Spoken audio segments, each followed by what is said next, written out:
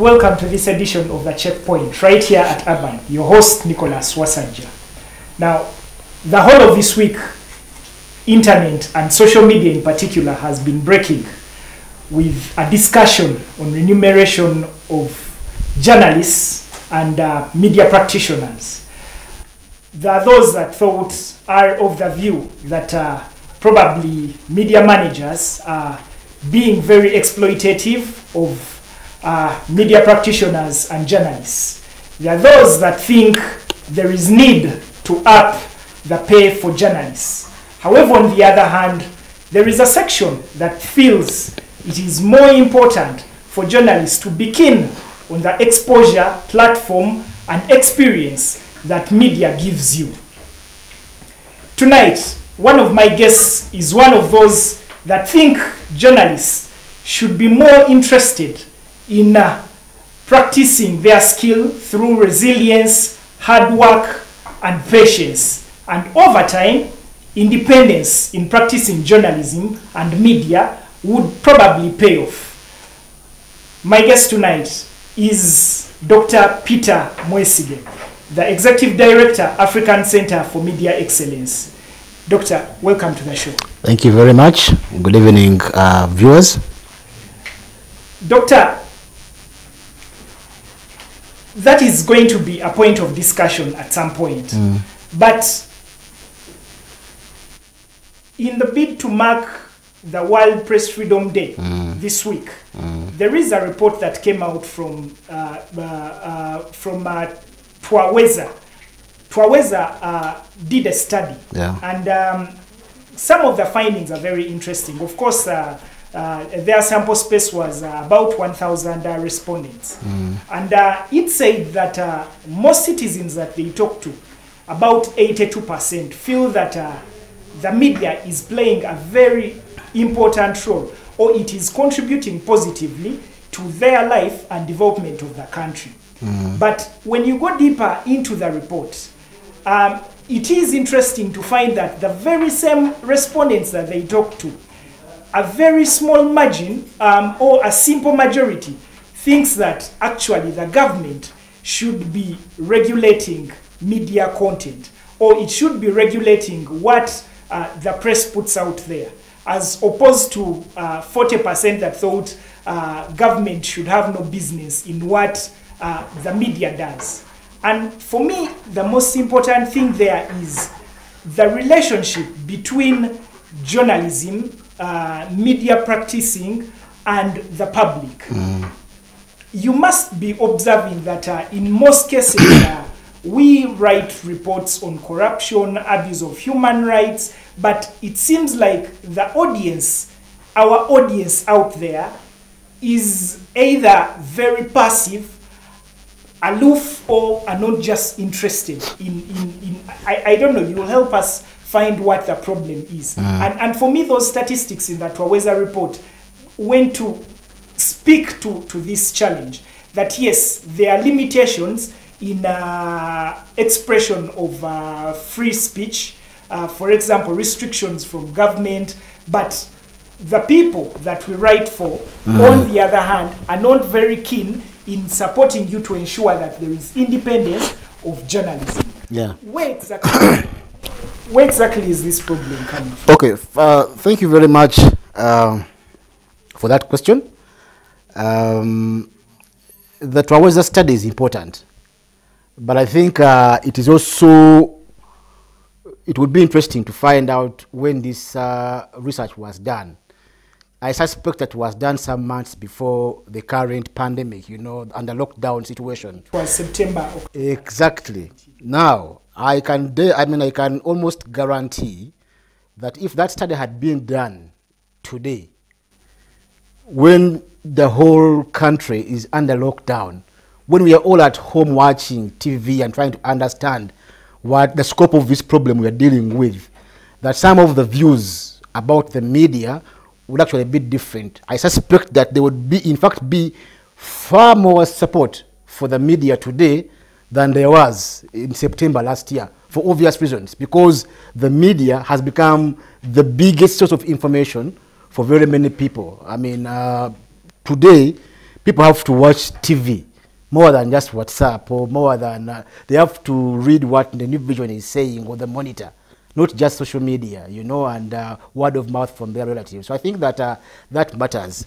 But secondly, I think that in our country, unfortunately, and in very many other countries in this region, unfortunately, the media have not always focused on helping the public understand the place and role of that important institution, the centrality of the media to our democracy, to the health of our society. So because of that, there is actually, there have been well-held, you know, perceptions out there that maybe the media are just rumor mongers or, you know, just useless characters, pests who disturb, you know, honest working citizens and experts and all that. So I think it is important as we go along, and especially from what we are learning from this pandemic, that one, the media, together with civil society and others, embark on a deliberate plan to educate the public about what it is that we do, that the media does, about why it matters, and about why the media need the protection that is afforded and guaranteed in our constitution and in fact in some of our laws.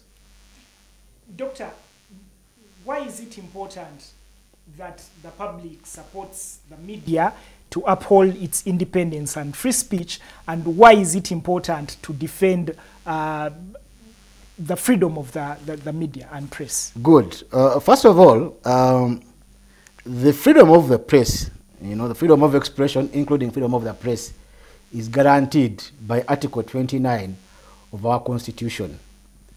That freedom is not just for the media, for you and your colleagues in New Vision, NTV Monitor, and others. That freedom is by and large meant for the ordinary person, for the public, for the citizen of this country. You know, the freedom of the media is a way of ensuring that others have their rights, you know, respected. The media is such a central institution in terms of uh, the respect of other rights and, uh, and freedoms. I think our Supreme Court has said that uh, freedom of the media, freedom of expression is so central to citizens' participation in their own governance. We cannot talk about things like accountability without a free media, an independent media that actually tells us what the government is doing in our name we cannot talk about things like uh, value for money. You know, things like whether the president yesterday said that uh, he assured us eh, that uh, this money that they have collected is not going to be, you know, let's say mm, stolen. Let's just say that. Yes. He didn't say that, use those words. But basically, he assured us that the money is going to be put to good use, to tangible use. We shall see. It's what it has been put to. Truth be told, without an independent and strong media that can actually investigate what is going on, what these guys are doing with this money, it is going to be eaten.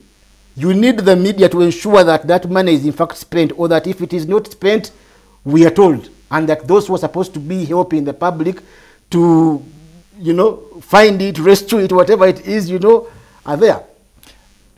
Doctor, the unresolved question of media pay. Mm how because I'm, I'm, I'm finding it difficult to be convinced that uh, I, I can independently and comfortably sit down and write a good story or research for this show when I'm not sure whether my children back home uh, had lunch. When I'm not sure, one of the issues that came up was um, uh, there are many times that we, we work from 7.30 a.m., sometimes past almost coming to midnight, and, and sometimes you all the time you're there, you're working, but you, you don't even have the transport to take you home.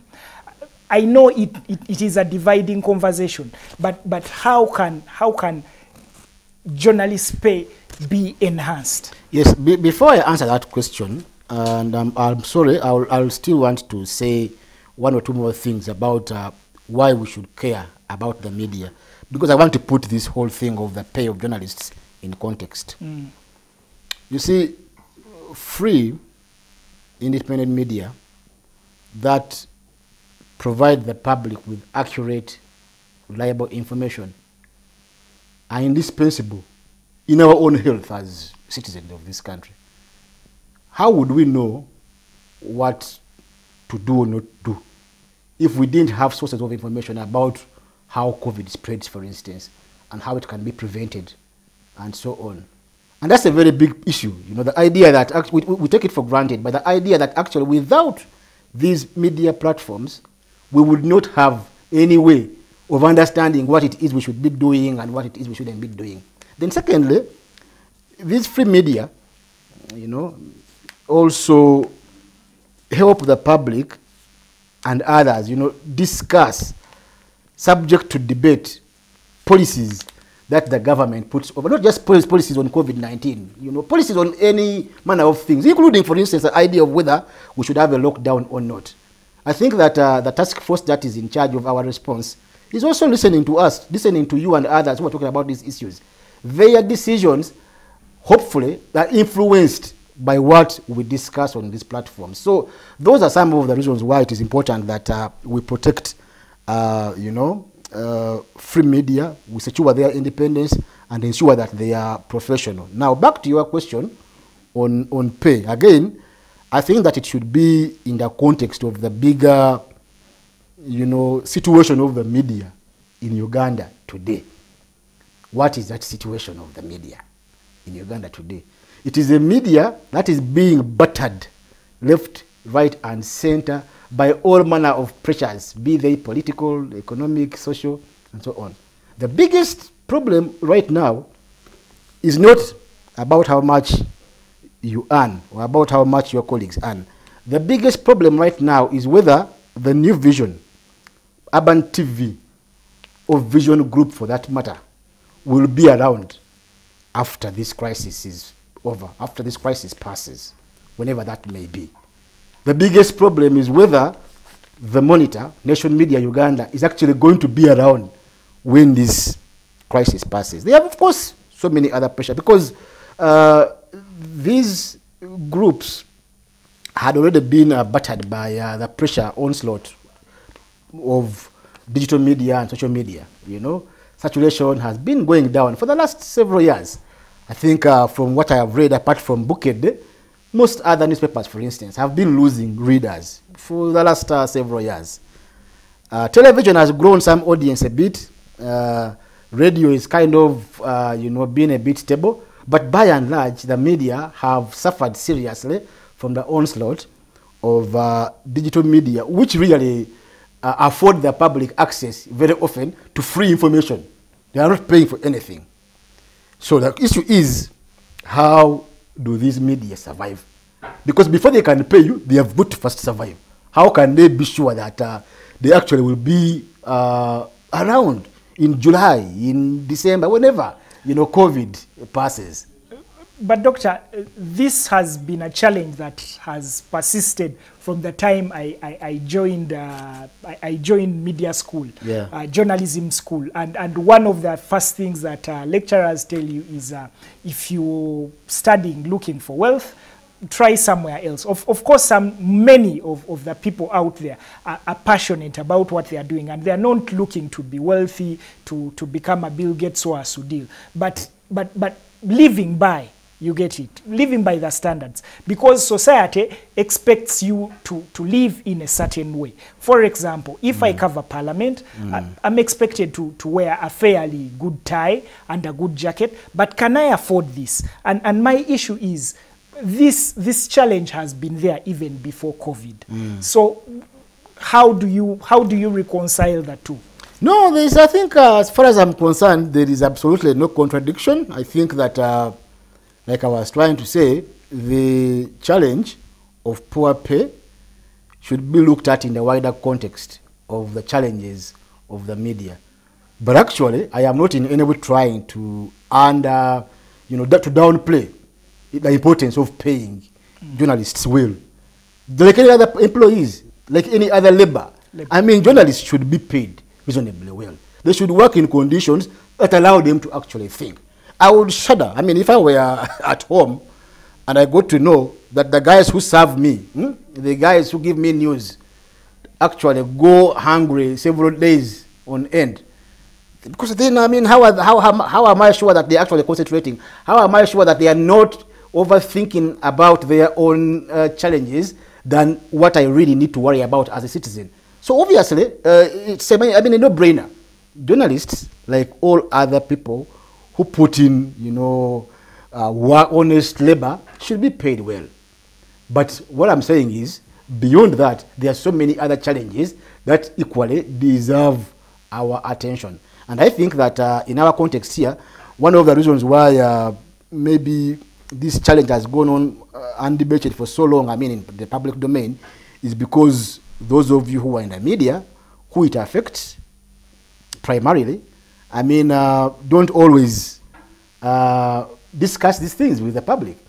For the public, people think you, you, you are celebrities, you are, you are rich people. You know, they see you on uh, TV, they see you with uh, all manner of followers on social media. They don't understand that actually a lot of this stuff is superficial. At, at the end of the day, you go back home and you struggle to pay your rent, and you struggle to feed your families, you struggle to take your children to school, because we have not made this part of the conversation. We discuss the welfare of doctors, we discuss the welfare even of MPs. MPs, for Christ's sake, we discuss all that. But how often do we discuss the welfare of journalists? And not discussing it in a parochial, you know, narrow kind of sense. No, discussing it as part of the challenges that confront uh, a free and independent media in this country. Doctor, indeed the challenges are insurmountable, but uh, what do you propose should be, how, how should media houses, for example, cope with, with, with, the, with the pressures that are going to increase with actually the pandemic? Um, I don't know. I don't have any easy answers. I think if I had easy answers, I would be a rich man. Uh, you know, because I once was part of a group that founded a newspaper which went under nearly 20 years ago, The Crusader. the Crusader. So wh- wh- while I have the experience, the credibility to speak about this issue, I'm not sure that I have the inter- entrepreneurial, you know, um, brain to say much. But what I know from what I have read, from what I've seen in other countries, um, we, we have got to do a lot more. Uh, this is not a simple problem. It's going to be, we're going to have to resolve it, you know, thinking about our specific circumstances. The new vision has its owners, you know, shareholders. It is, oh, I mean, it's, uh, it's run slightly differently from how the monitor runs. Those are, you know, I suspect that uh, by the time we are done with COVID 19, whatever that is, we are going to have uh, a number of journalists out of jobs. The National Association of Broadcasters has told us very many radio stations are going to close. Uh, that is to be expected. If we don't, um, if media houses don't have um, alternative ways of earning beyond circulation, you know, selling newspapers on the street, Advertising. Mm. advertising, Mm. From what I'm hearing, they are cooked. Uh, some of- yesterday we had a webinar, you know, to celebrate World Fre- Press Freedom Day, and some of the proposals were, for instance, can we, can the media find other purposes to which to put uh, their information?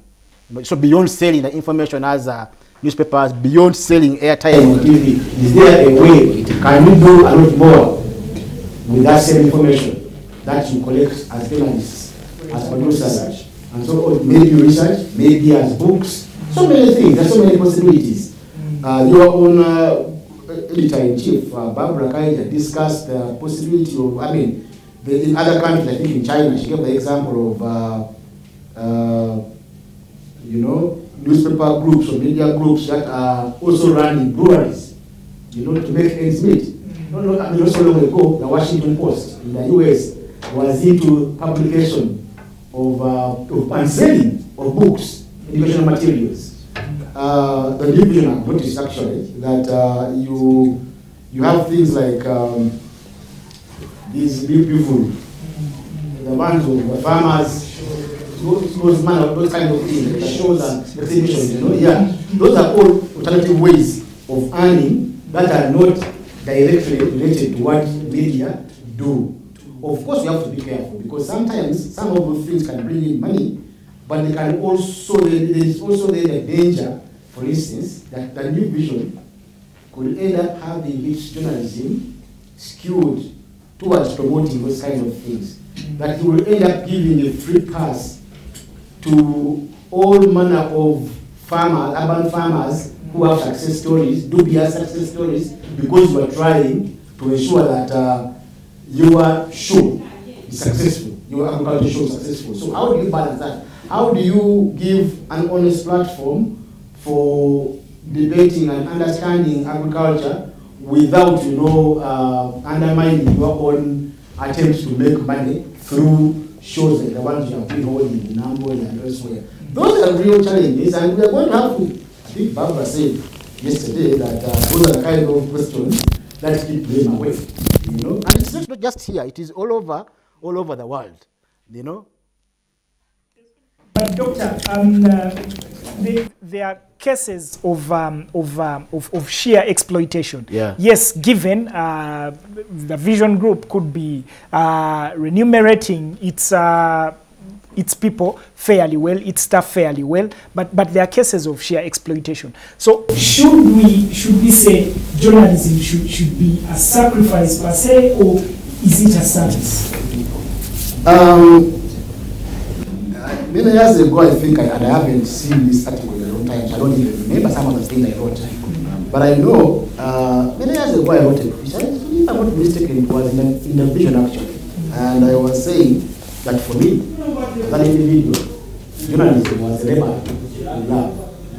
Obviously, to do this kind of work and do it well, I mean, you need some bit of passion for it, and you need some sense of, you know, a degree of patience and understanding that uh, you may not, and I'm not in any way trying to downplay the importance of good pay, reasonable pay, adequate pay. But what I'm saying is, I do not think you are going to earn the kind of money that your colleagues who run law chambers earn, for instance. I don't think you're going to earn the kind of money that some of your colleagues who are now engineers, you know, are earning, or the kind of money that uh, people who are in private, successful private business uh, are earning.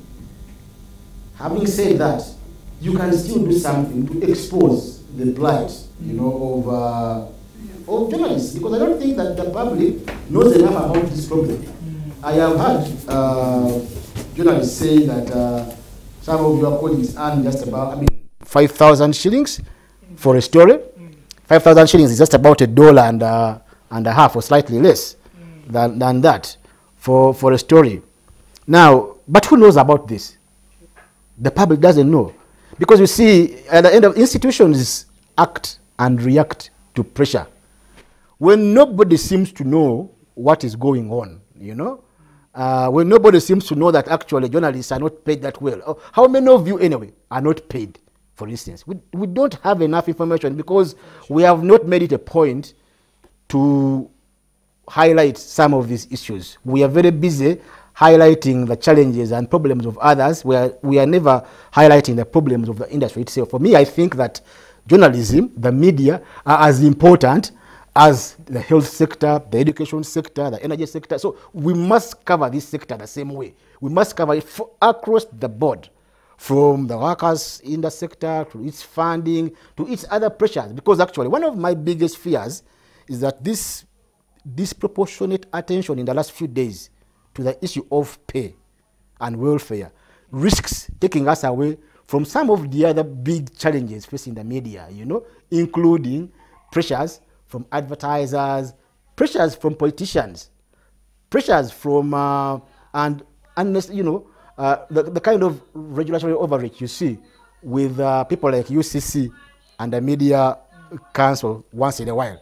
Yes. Yeah, so that uh, when you when you focus too much on uh, one problem like pay and welfare, you risk completely, you know, downplaying equally important challenges like the ones I've been trying to talk about.